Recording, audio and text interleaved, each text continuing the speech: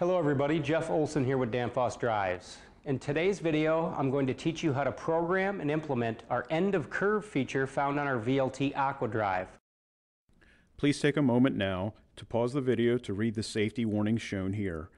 Failure to follow these warnings could result in death or serious injury.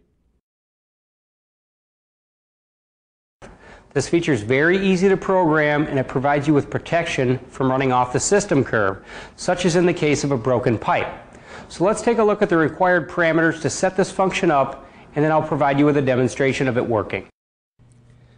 Alright, so using our pump demo unit, I'm going to guide you through the parameters required to set this function up.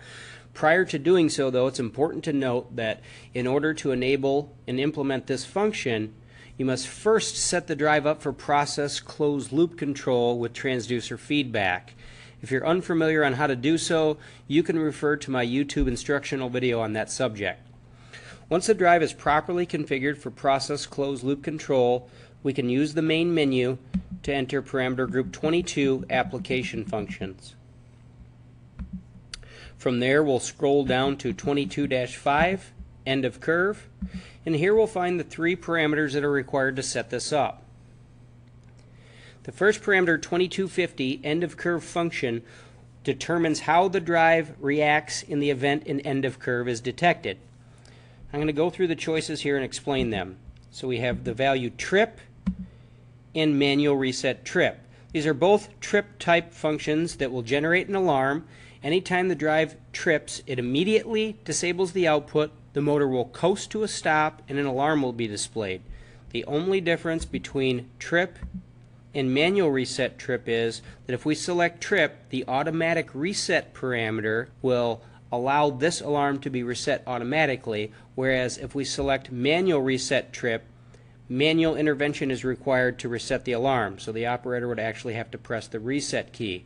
That's what I'm going to select here for our demonstration, but I'm going to go ahead and explain the other choices as well.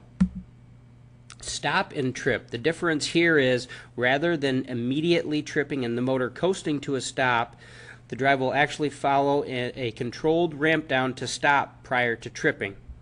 We also have off, which in, of course no event would be executed here, and warning.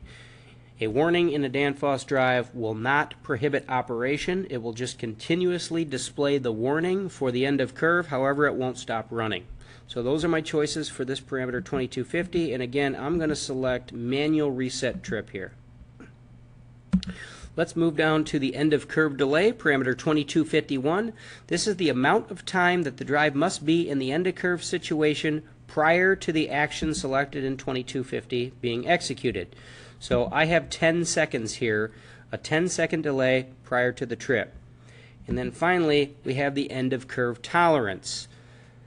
This parameter determines the percentage from set point that you're able to fall prior to the end of curve.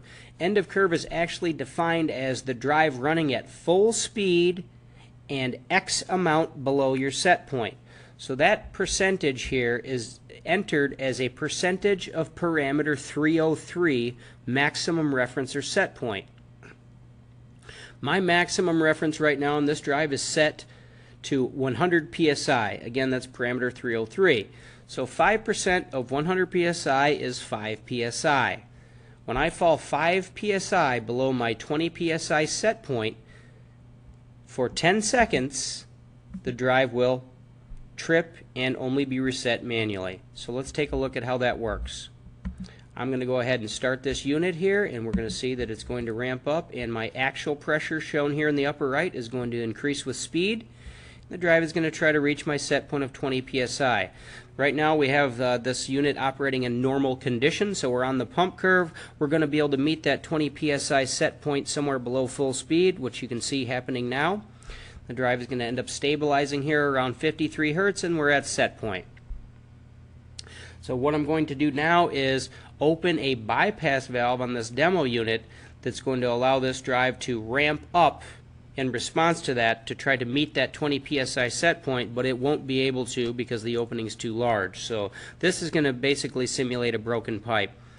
I'm going to go ahead and actuate that bypass now, and as soon as I do so, we're going to see my pressure fall. As long as I fall 5 psi below my set point, so 15 psi or below for a solid 10 seconds, then the drive is going to trip. So let's go ahead and do that now. I'm opening the valve and we see my set point drop. We're well below 15 psi. My timer right now is currently counting. Approximately five seconds from now, we should see the trip occur.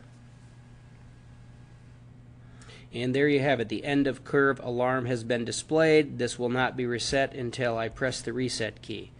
Hopefully this video was informative and thank you for watching. Thank you for viewing. We hope this information has been helpful. Danfoss Drives can provide additional technical support, parts information, or repair services options by contacting us through one of the following methods. For immediate access to customer service or a technical support expert in North America, call 1 888 Danfoss or 1 888 326 3677 or contact us through email. For technical support, the email address is drives.ts.na at danfoss.com. For customer service, the email address is drives.cs.na at danfoss.com. For after sales service, the email address is drives.ts.service.na at danfoss.com. Additional information is also available on our website at www.danfossdrives.com. For contact information in areas outside of North America, please visit our global website at www.danfoss.com. Thanks again.